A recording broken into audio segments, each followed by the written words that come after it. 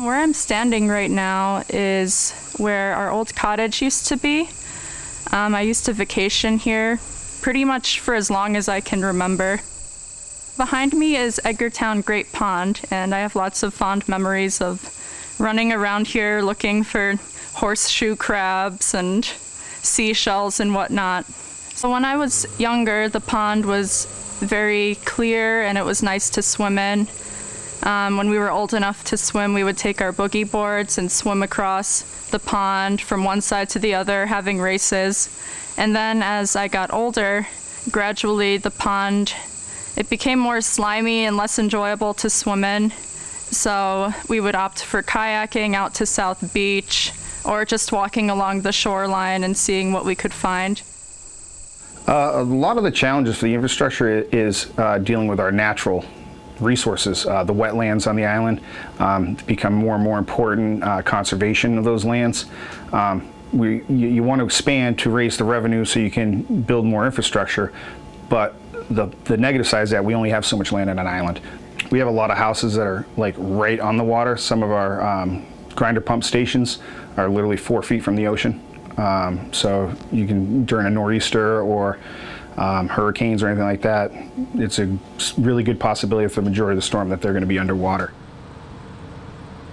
The town is a seasonal resort community. Uh, the population of the island overall goes from 17,000 in the wintertime to excess of 110,000 in the summer season, which is basically Memorial Day to Labor Day.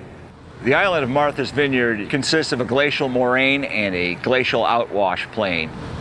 Everything that you see now behind to the south is basically dead flat, all the way to the ocean. The first low pressure grinder pumps in Edgartown went in in 1999. And those were for sites where you couldn't get pitch to the existing gravity sewer that was built in 1974.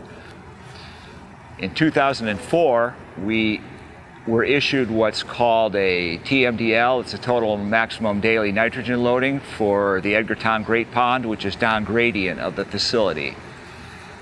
At that point, we needed a way to sewer substantial areas inside the watershed uh, pretty quickly, pretty economically, and inconceivable to get gravity sewer.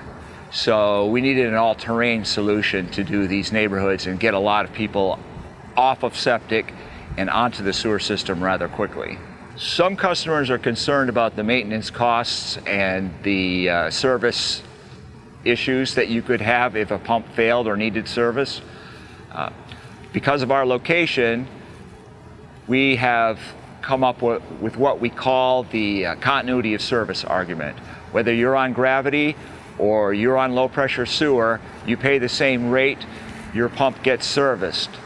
Uh, we turn around pump repair calls in about 45 minutes here on the island for our customers.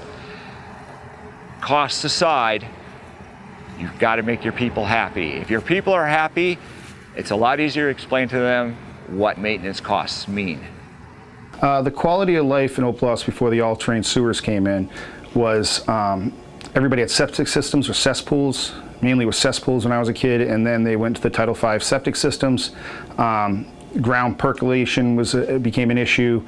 Um, if you notice, there's places here like the campgrounds that they're really densely populated, and there is no place to put a Title V system in the ground.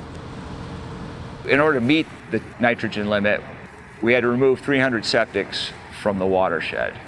If you're trying to do a nitrogen mitigation plan, you have to look comprehensively at all the tools that are out there and use the best possible mix of those to attain your goals. There are at least 60 towns on the Cape that have TMDLs hanging over their heads. We got a water quality assessment for the Great Pond, and we are probably the first ones in the Commonwealth to have met the TMDL. So they started installing all-terrain sewer systems here, and I'm hopeful that it will gradually improve the water quality of the pond since I did see over the years that the water quality diminished and we didn't want to go swimming anymore. And hopefully the young children that come out here in the future will have a swimmable pond that they're excited to leap right into when they first get here.